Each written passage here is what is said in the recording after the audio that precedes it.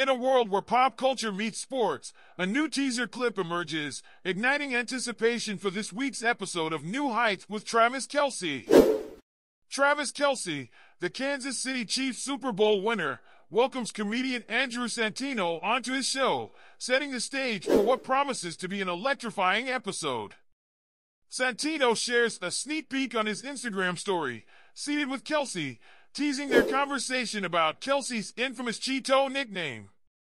The caption reads, Behind the scenes with a Killer Trav at New Heights show.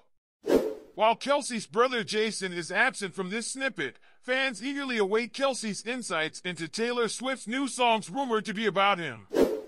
Swifties are abuzz with speculation after Swift's latest album dropped, with tracks like The Alchemy and So High School fueling rumors of Kelce's influence.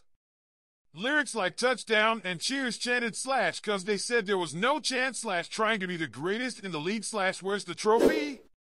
He just comes running over to me from the alchemy have fans dissecting every word.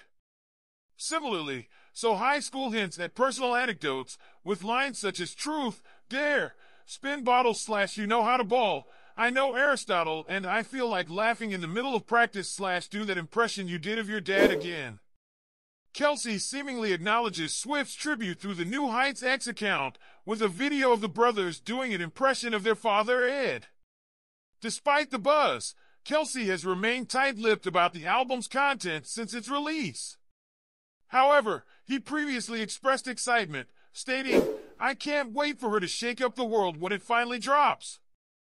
As fans eagerly await Kelce's perspective on Swift songs, tune into this week's episode of New Heights for insights, laughter, and unexpected revelations.